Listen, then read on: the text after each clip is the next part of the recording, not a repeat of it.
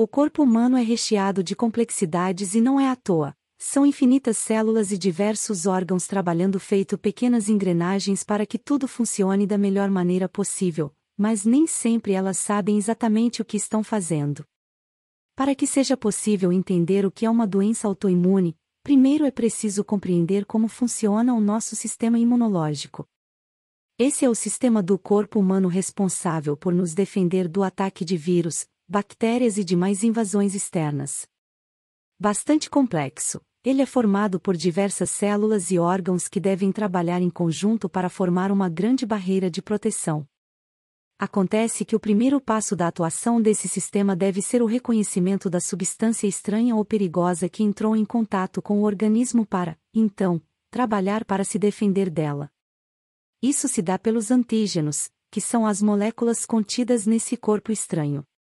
Acontece que as células dos nossos próprios tecidos também possuem antígenos, e o problema é quando o sistema imunológico passa a reagir não apenas contra os antígenos das invasões externas, mas também contra os do nosso próprio corpo. Com isso, o organismo começa a atacar os próprios tecidos como se eles fossem invasores e essa reação indevida é conhecida como doença autoimune.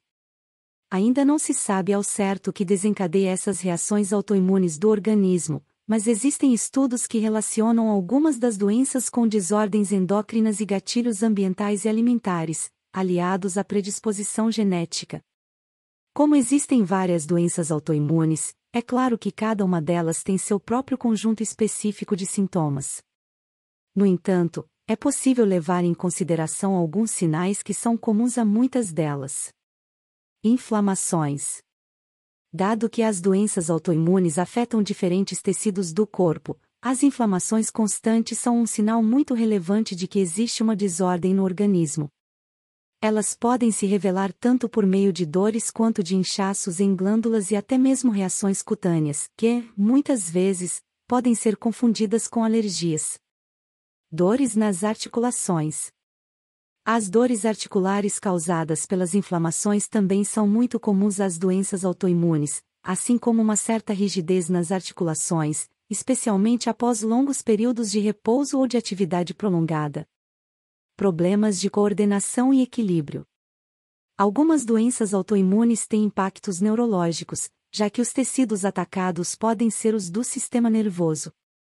Dessa forma, é muito importante ligar o alerta e procurar atendimento médico o mais rápido possível caso aconteçam episódios de vertigem, dificuldade para caminhar, perda de equilíbrio, falta de coordenação e tremores. Isoladamente, Quaisquer desses sinais não são nenhuma garantia de que exista uma doença autoimune, no entanto, eles podem ser o ponto de partida para um diagnóstico precoce que pode frear a evolução da doença e melhorar a qualidade de vida do paciente. Portanto, é bom ficar atento.